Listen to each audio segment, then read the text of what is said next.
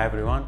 This is a quick uh, video on refund lodged and not received, which means uh, in case your tax return has been lodged with a refund, we or any other accountant they have told you that you will be getting some refund, maybe three thousand dollars, and you gave your bank account, and it has been two months, it has been three months, it has been six months, can be any time. You have not received any refund. So what does that mean? Well, first of all, you have to check whether your return has been actually lodged with ATO or not. Normally, accountants lodge it. If they say we will lodge it, normally they will lodge it. And if they have lodged it, why you have not received the refund? Okay, there can be few reasons for that. One of the reason is under process. It can be three months. Your return was lodged. Six months. It's still under process. You call ATO. ATO says it's still under process can be any reason. Maybe they are checking something checking your employment checking your income. They can take as much time as they want. The second reason is your return is cancelled. Why your return is cancelled? Because they have some information based on which they have cancelled your return. Maybe you have extra income or your employment details are wrong. Or it can be other it can be any other reason. When return is cancelled you have to find out the reason of cancellation and then you lodge it again okay? So they have cancelled your return.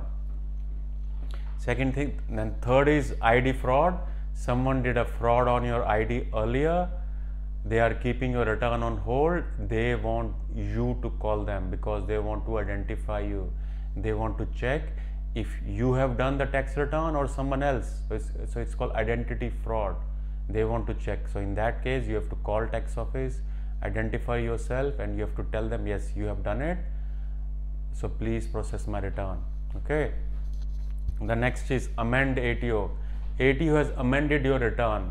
For example you lodge your tax return only with the salary income but as per ATO information you also had a business income or some interest income which you have not which you did not include so ATO has amended the return.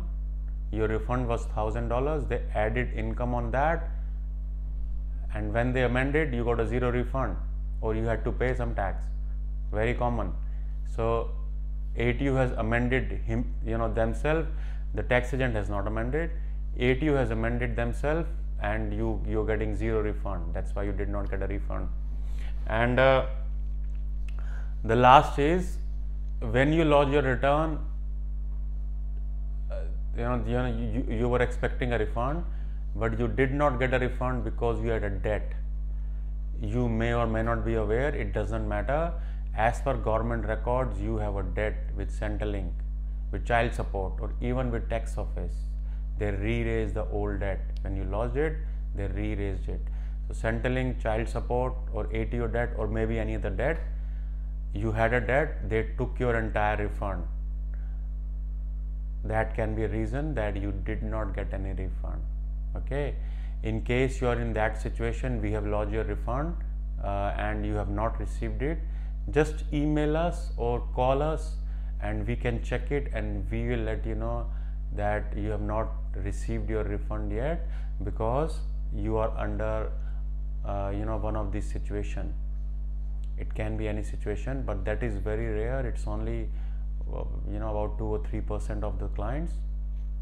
But this happens that you have lodged your return and it has been 3 months 4 months ATO has not processed it. So so it can be one of those reasons.